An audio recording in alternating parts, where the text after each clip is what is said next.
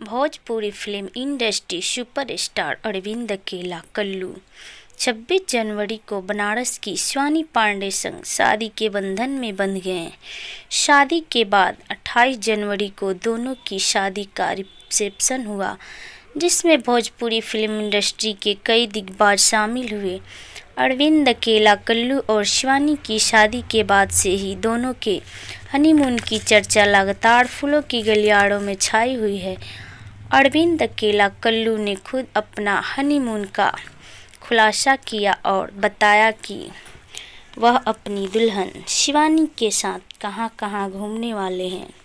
हाल ही में एक media channel से बातचीत के दौरान कल्लू ने अपने हनीमून को लेकर खुलासा किया इस दौरान उन्होंने बताया कि उन्होंने सनातन संस्कृति को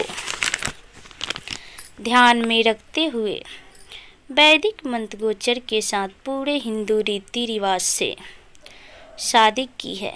ऐसे में शादी के बाद अब वह पूरे परिवार के साथ देश के बड़े तीर्थ स्थलों का भ्रमण करने का प्लानिंग बना रहे हैं।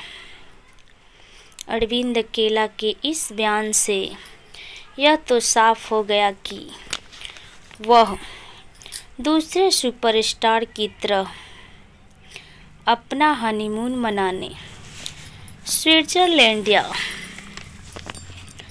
मालदीप नहीं जाएँगे, बल्कि वह धार्मिक स्थलों की यात्रा अपने पूरे परिवार के साथ करना चाहते हैं। इसके बाद वो अपने हनीमून की प्लानिंग करेंगे और कहीं और घूमने जाएँगे। फ़िलहाल अभी वो होली के गानों की शूटिंग में किसी और दूसरे हीरोइन के साथ शूटिंग कर रहे हैं। आप लोगों को उनकी जोड़ी कैसी लगती है, हमें कमेंट करके बताएँ।